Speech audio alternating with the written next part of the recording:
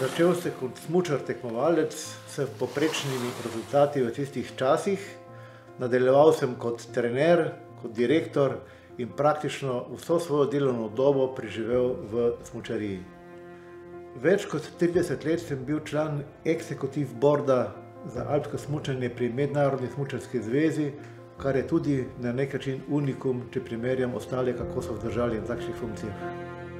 Prišel sem z Maribora, kar je v začetku bilo malce čudno, da bo zdaj Mariborčan vodil slovensko, takrat jugoslovansko smučarijo, ker to je bila domena Gorencev.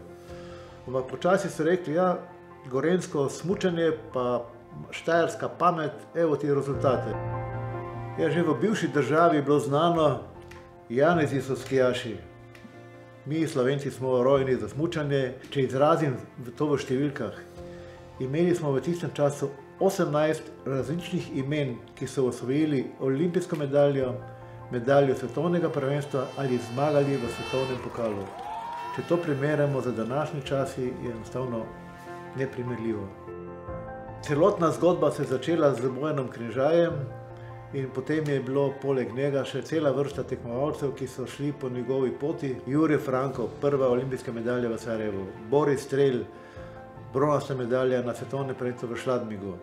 Potem pa jasno zlata generacija, Rok Petrovič, Jure Košir, Mateja Svet in še cela vrsta tekmovalcev.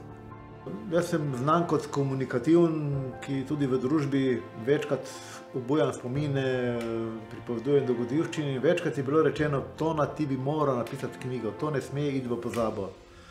Ko pa je nastopil čas korone, sem naenkrat ugotovil, da mi ogromno časa ostaja. Poklical sem Marka Radmiloviča, dogovorila sva se in knjiga je na mizi.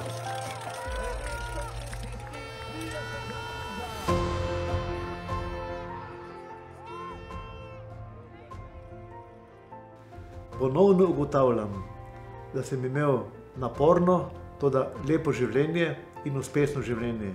In če bi imel možnost ta film obrniti še enkrat nazaj na začetek, bi storil skoraj vse isto kot sem.